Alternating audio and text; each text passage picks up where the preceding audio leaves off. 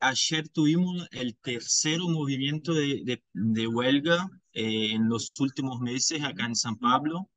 y fue algo histórico porque en este día de ayer fue como una unión eh, de, un, de un rubro de, trabajadores de distintas eh, profesiones. Tuvimos los metroviarios, eh, los trabajadores de la salud, de la educación, también los trabajadores del agua, que están en la, la empresa Sabespe, que es la principal distribuidora de agua, una empresa pública. E, entonces tuvimos todo, todo eso junto desde el primer día del 28 en San Pablo. Eh, fue algo que no se veía en este año, pone, eh, fue el, quizá el más, el más grande movimiento popular eh, de calle que vimos en Brasil. Y el objetivo que podemos decir era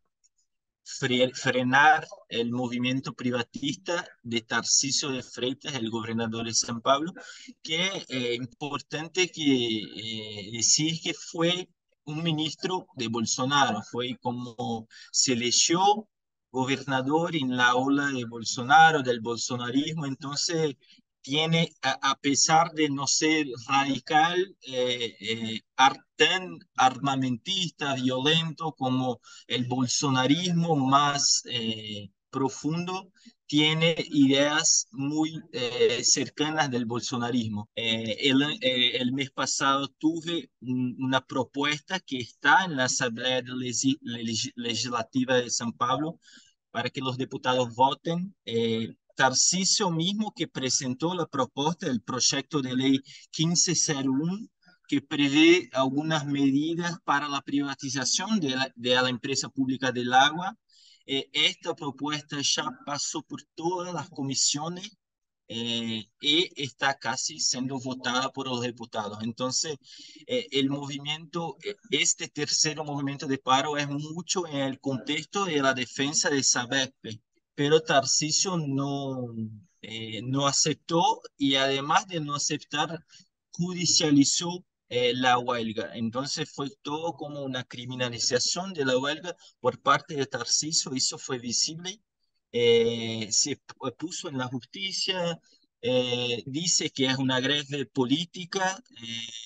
que es una, un paro, una, una huelga que no está respetando el resultado de las elecciones, pero eh, e, este proyecto de privatización no es el, el, el, deseo de la grande parte de la población de San Pablo. Tuve como un plebiscito popular organizado por los trabajadores con más de 900 mil personas eh, participando y casi 90% de la población de San Pablo eh, votó contra la privatización. Entonces, lo que las, las lideranzas de, de, los trabajadores dicen que este argumento de que eh, la privatización es algo que tiene respaldo popular eh, no es verídico, visto que hay un plebiscito eh, que ya fue ampliamente votado por la población y que refusó la privatización.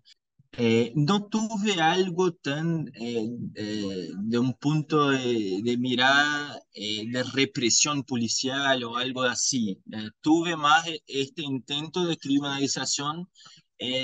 por los medios judiciales y también un intento de construir una narrativa que la, la huelga no tenía respaldo eh, de todos los trabajadores de, de, de, los rubros, ¿viste? Eh, tuve una nota, el gobierno soltó como una manifestación eh, diciendo que el paro no tenía el respaldo de todos los trabajadores, que es una parte mínima de las directorías, de, de los representantes que decidieron por todos.